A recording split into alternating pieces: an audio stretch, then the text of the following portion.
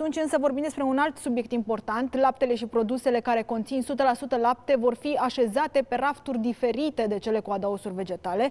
Noile norme au pus în funcțiune și observatorul laptelui, prima structură care va monitoriza integral piața. Sunt reguli care vor fi aplicate și în patiserii sau restaurante, iar inspectorii ANPC vor face verificări în perioada următoare. Mergem chiar acum la colega noastră, la Luca Mândoiu. Ea ne explică. Bună seara, Luca, de când ar trebui să intre în vigoare aceste norme?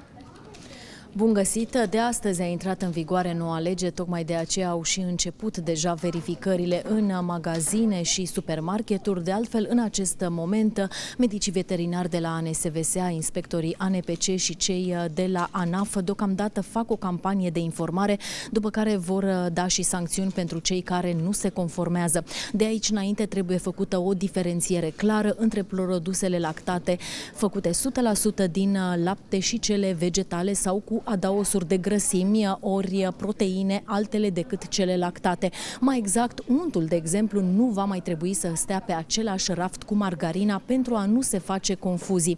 Pe de altă parte, legea laptelui vizează și cofetăriile, patiseriile sau restaurantele. Acestea vor avea obligația să menționeze clar natura laptelui dacă este de origine animală sau vegetală.